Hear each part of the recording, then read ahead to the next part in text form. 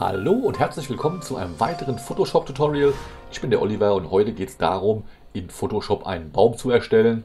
Und jetzt braucht ihr keine Angst zu haben, ich werde also jetzt nicht meinen Zeichenstift nehmen und hier einen Baum malen, sondern es gibt in Photoshop mittlerweile einen Filter, mit dem man hier unter Renderfilter tatsächlich einen Baum erstellen kann. Jetzt geht hier ein Modalfenster auf und ich kann hier meine Auswahl treffen von verschiedenen Bäumen und Lichtposition einmal von links. Wenn ich den Regler auf die linke Seite schiebe, dann kommt das Licht von, von links oder von rechts. Ich lasse es mal von oben. Blättermenge mache ich jetzt eher ein bisschen weniger. Und zwar geht es darum, wenn ich also die Blättermenge auf 100 stelle, dann sehe ich hier nur Grünzeug und kein Geäst mehr. Aber gerade durch so ein Geäst wird das Ganze realistisch. Deswegen gehe ich bei der Blättermenge eher ein bisschen runter und die Blattgröße eher ein bisschen höher. Und Zweighöhe kann man hier gut festmachen an diesem Baumstamm, wie der aussieht. Ich gehe mal hier hoch auf 300. Und jetzt habe ich also hier einen riesenlangen Baumstamm. Deswegen kann man hier vielleicht, je nachdem wie man es braucht, ja, 148 ist ein guter Wert. Zweigdicke, also die Dicke der Äste, da gehe ich auch meistens noch ein bisschen weiter.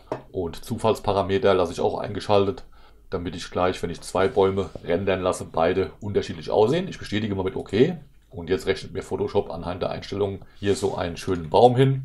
Ich zoome mal rein und jetzt seht ihr auch, dass ich tatsächlich hier diese Äste im Hintergrund sehen kann, weil ich die Anzahl der Blätter und die Blattgröße entsprechend so ein bisschen abgestimmt habe.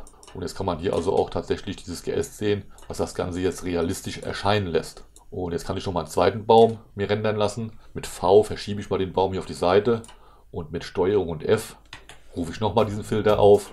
Und jetzt seht ihr, dass doch so ein Baum kommt.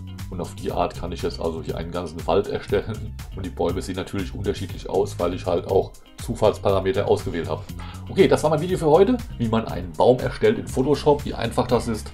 Wenn ihr was gelernt habt, gebt mir einen Daumen hoch, abonniert meinen Kanal und wenn ihr das nächste Mal auch wieder zuschaut, dann freue ich mich auf euch. Erst müsst ihr noch mal Ameisen langlaufen oder so.